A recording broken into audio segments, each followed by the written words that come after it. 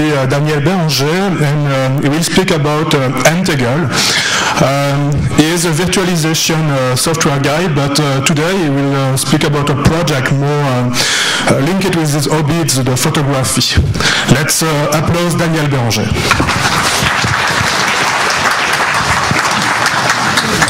Hi, so um, as you just heard, I'm here to talk to you about a photography program that I work on in my spare time um, called Entangle. And um, at its very simplest, this is basically just a way to control your digital camera from a laptop. Um, when I say digital camera, I typically mean an SLR camera. Nikon, Canon are the best supported. Um, you used to be able to get some compact cameras that you could control from the computer, but um, the lovely people at Canon have seen fit to cripple their firmware so that you can no longer um, no longer control it from the, from the computer. Um, so mostly SLR digital cameras are what this program works with. Come on. Is, I'm sorry, technical trouble. That's okay. Um, so what I consider the four main um, usage scenarios for this uh, program are. Um, the first one, the reason why I started developing it um, was to be able to do macro photography um, at home. If you're, doing, if, you're, if you're at all familiar with macro photography, um, you'll know that one of the challenges is getting the focus point just right because you've got a very narrow field of focus. Um, and if you're looking at the back of your camera on the little LCD screen, screen, it's quite hard to tell whether you've done that right or not. Um, so it's much, much easier if you can have your images immediately displayed on your huge laptop screen or desktop screen, um, so you can see the focus point and judge it um, straight away. Um, the second, second scenario, um, studio model photography. Um, this was uh, something I um, saw in a photography club that I belonged to. Um, they were doing a live, um, live model shoot on stage um, with an, with, an, equivalent program to this. so you could see the shots as they were, as they were taking them. since, since I started writing this program, um, to my surprise, I got a number of people turning up and saying that uh, they're using it to do stop motion animation. Um, so that's, that's uh, one, one useful use case you can have. And finally, um, astrophotography. Um, I've just recently started doing a bit of astrophotography. Um, and again, it's useful because you want to be able to um, see the images you're taking on a big screen. Because when you're taking pictures of the night sky, the stars are a tiny little spot um, on the nights, on, on your um, image. And so it's going to take, you're not going to be able to see the stars on the little LCD screen on the back of your camera. So it's nice to have your, your image displayed on a, on a big screen right away. Um, so the core, the core capabilities of the program. Um, start off with, if you've got your camera connected to the laptop via a USB cable, you press the shutter on the camera and the image immediately downloads to the laptop and gets displayed. Um, but you can also trigger the shutter directly from the laptop. Um, you can turn on the live, live preview mode if your camera supports that. So you see a continuously refreshing um, view of what your camera sees um, at, I don't know, 15 frames a second, as basically as fast as the camera will download the images, um, we'll, we'll display it on, on, the, on the screen. You can control a variety of the camera settings. This kind of depends on what camera you've got, but on a, on a decent quality SLR camera from Canon or Nikon, you can basically control every possible setting um, from, the, from the laptop. Um, a photography program, color management is, a, is of course um, important. So this, this has color management built in. And again, of course, we support all the various raw file formats um, the cameras produce. Um, this monitor is getting very annoying, but it'll come back in a second, I hope.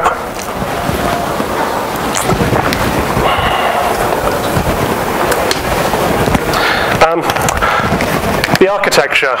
The program is kind of I'll carry on talking anyway. The program is split into um, kind of two, two separate pieces. Um, what I call the back end, which is all the interaction with the camera. Um, this, this uses um, libgphoto, which is, a, which is an open source library for controlling digital cameras. So that does all, that does all the guts of the communication with the camera. Um, GDK Pixbuf is a library I use for just manipulating the images we download.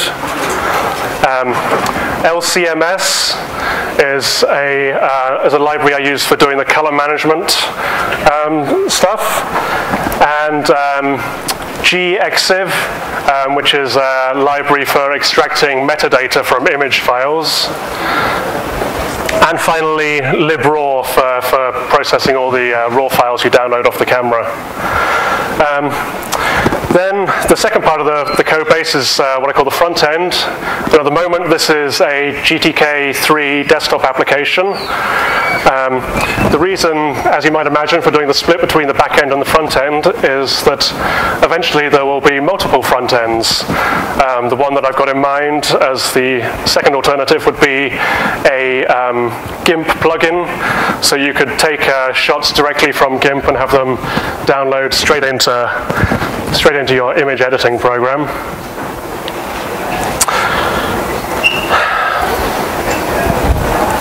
Um, I'll carry on talking anyway.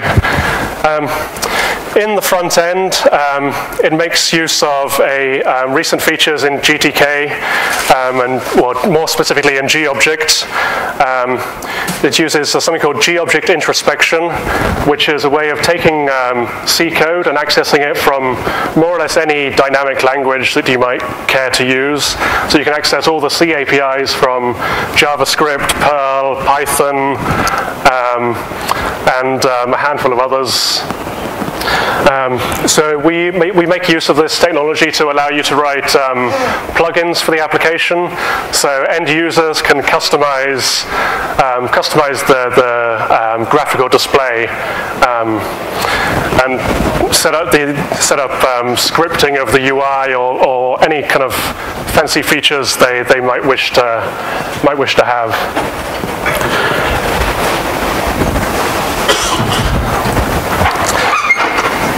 So uh, the programs that are, I mean, I've, I've, been working on the program on and off for uh, a couple of years, but it's still, the, the, functionality is at a fairly basic level, and there's a bunch of ideas I've got uh, for things that I'd like to work on. Um, these, these things are, um, ideas for plugins that I'd like to, to write. Um, if you've used uh, if you use digital cameras, you'll know there's, there's most of them have a, a feature called um, auto bracketing. Um, so I'd like to be able to do a similar kind of thing from the laptop, but not just restricted to doing, um, not just restricted to um, bracketing the exposure values.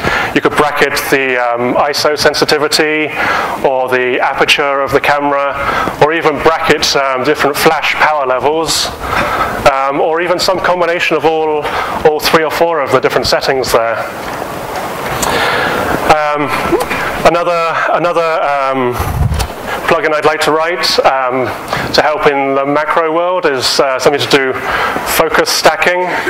And this is an idea where you um, you take a series of macro images and tune the focus point to a different um, focal distance between each shot, and then you can get um, then you can combine all these images um, in GIMP afterwards to create um, one which has a really wide depth of field to it that you wouldn't be able to get with a single shot.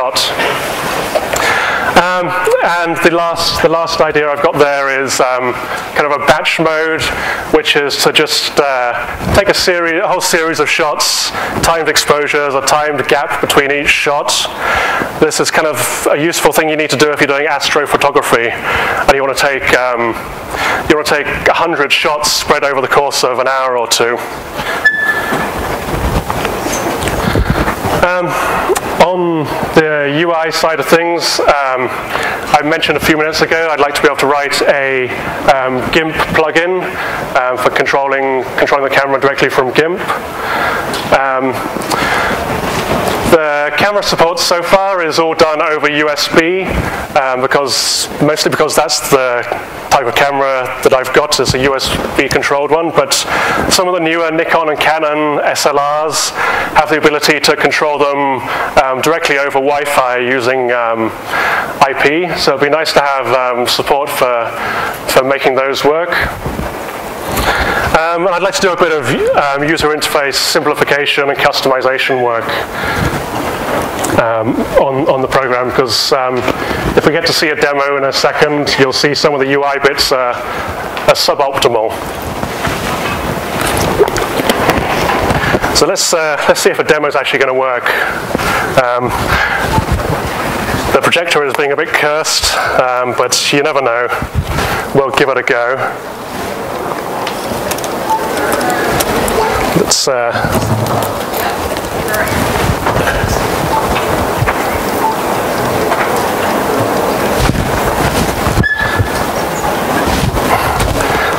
Come on.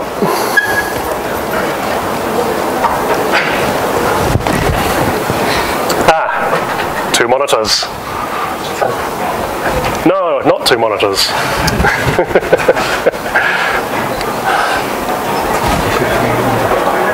Well, this is. Uh, let me see if I can get it up in uh, mirrored. Although it's not going to mirror unless it actually detects both of them. Um, how are we doing on time?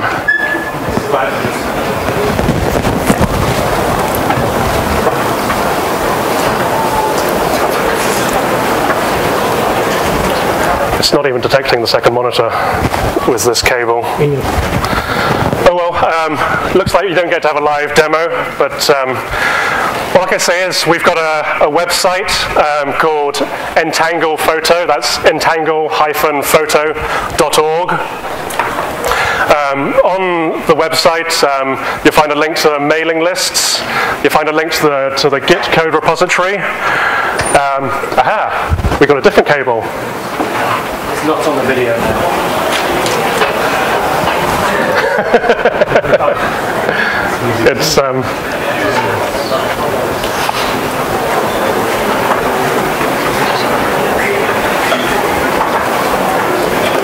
Let's see if we can get it working in mirrored mode. Oh well, that's no. I'll just say, go to, go to the website entangle-photo.org. You'll see a bunch of screenshots um, of the program. You'll find links to the code. Um, if you're using um, um Fedora or Ubuntu or Debian, you can, um, the software's already in the repositories there, so you can just install it and uh, try it out with your digital cameras. Sorry you don't get to see a live demo, but uh, this projector setup is just being mental. Um, so um, thank you very much, and if you've got any questions, um, shout them out. We have a question here. Uh, so you said the, the main interface for interfacing with the cameras is over USB. Yeah. Uh, with like Android phones and PTP, is that enough to be able to use those with Entangle or not? Um, it uses, I mean, it, it uses libgphoto, and libgphoto speaks the PTP protocol. Um, so if, if, I don't know, if Android devices expose some, their camera feature as um, PTP, but if, if they did, then in theory that would work with libgphoto. Cool, I'll try that With then. Entangle. Okay, thanks. Another question?